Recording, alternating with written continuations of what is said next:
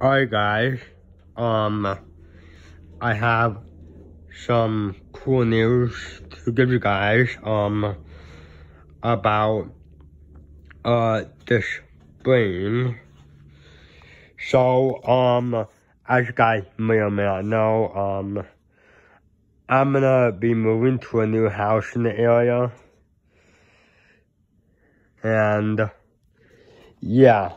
That also means I'm still gonna make new fan videos and fan demonstration videos in the future.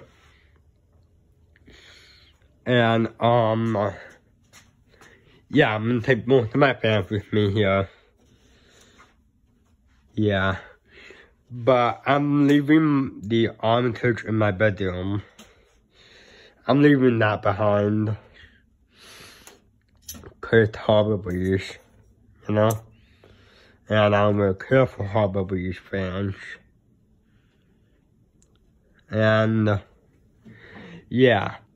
And if it's possible at the new house, I'll probably even have a fan in the garage at the new house. If it's possible. And, yeah. Um, if I were in a, a fan in the garage at the new house, probably gonna be, um, I don't know, maybe the Park Avenue 3 since I got this from Michigan a while back.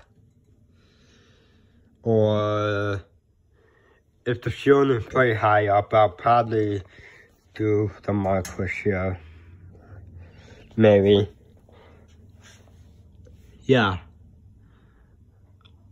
Um, unfortunately, I can't hang the original up because, um, I don't have a lid for it at all.